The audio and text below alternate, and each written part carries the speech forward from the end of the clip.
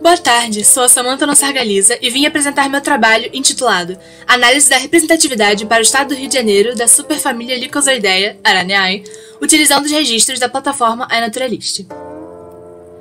O objetivo desse trabalho foi analisar a interação entre registro e identificação na plataforma iNaturalist, analisando os dados referentes à superfamília Lycozoideae e sua ocorrência no estado do Rio de Janeiro. Os dados analisados foram retirados da plataforma no dia 28 de maio de 2021 e neles incluem um registro de 83 usuários diferentes que foram feitos tanto em centros urbanos quanto em áreas preservadas.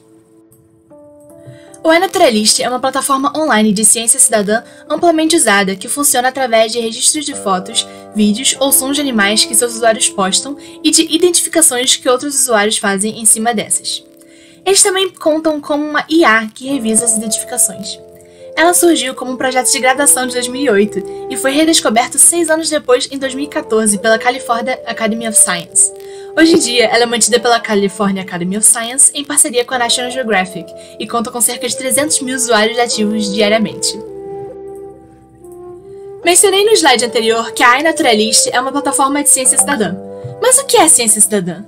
É um tipo de ciência que busca unir a sociedade e a produção científica, popularizando a ciência para o público geral e trazendo benefícios para a ciência. Há registros de que ela começou no século XIX com observações de pássaros, mas também que começou com coletas de dados acerca principalmente de questões de saúde e questões ambientais e foi evoluindo ao longo do tempo. Alguns outros exemplos de plataformas de ciência cidadã, tirando a Naturalist, entre os muitos outros que há, temos a Wikiaves, que funciona de forma similar ao iNaturalist, só que é restrita a aves. Temos também a plataforma Urubu Mobile, um aplicativo que o usuário faz registros de animais avistados em estradas e rodovias, cujo objetivo é de evitar o atropelamento de animais silvestres e mapear as áreas com maior incidência desses atropelamentos. E por último, mas não menos importante, temos o Sistema de Informação em Saúde Silvestre, ou CIGEL, cujo objetivo é monitorar a saúde de animais silvestres para uma melhor vigilância de zoonoses, que são doenças que circulam entre animais e humanos, para tentar controlar esses agentes infecciosos.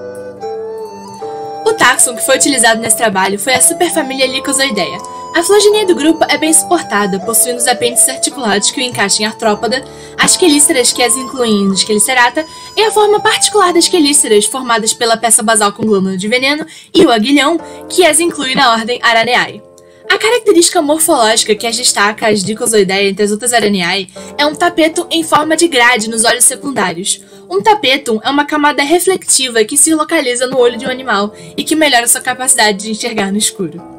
Essa superfamília é composta de aranhas errantes, ou seja, que não possuem teias para caçar.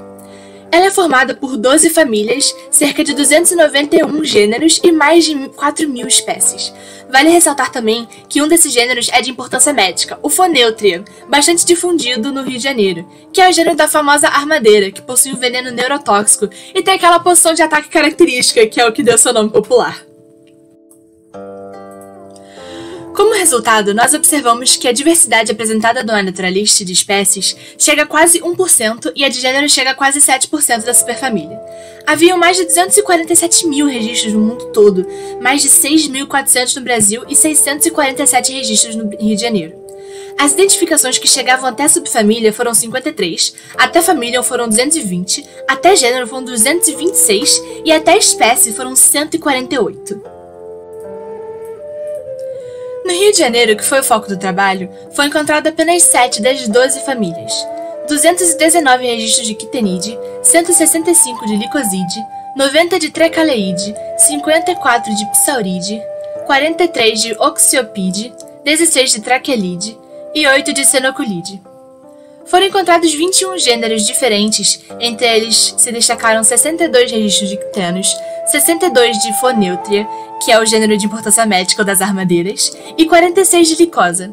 Já entre as 29 espécies diferentes, as que se destacaram foram a Licosa eritrognata, com 41 registros, Actenos ornatus, com 29 e Actenos médios, com 18. E em relação às espécies que mais se destacaram, é observado que elas tiveram mais registros em determinados municípios do Rio de Janeiro do que outros. Por exemplo, a licosa eritognata teve registros em 19 municípios, dentre eles se destacaram as Cachoeiras de Macacu, com 6 registros, e o Rio de Janeiro, com 7 registros. A Actenos Ornatos teve registros em 11 municípios, Guapimirim, Petrópolis e Rio de Janeiro se destacando, cada um com 3 registros. E por fim, Actenos Médios, que teve registros em 7 municípios, com o Rio se destacando com 8 registros. Podemos concluir então que há necessidade de revisão de alguns registros feitos, pois as identificações podem não estar 100% certas. Percebemos também que as observações eram mais frequentes perto da capital e de centros urbanos, provavelmente pelo motivo de que é a área em que pessoas possuem mais acessos e de ter mais pessoas circulando. Também concluímos que o iNaturalist é uma ferramenta de ciência cidadã muito boa, que aumenta a ligação sociedade-ciência, proporcionando mais confiança ao público geral, não acadêmico, da ciência e mais apoio a iniciativas científicas. O número de registros da plataforma aumenta diariamente e cada vez com mais registros e mais identificações. Muito obrigada por assistir e quero agradecer também ao CNPq que tornou esse trabalho possível e ao SF Zoialada pela oportunidade de apresentá-lo.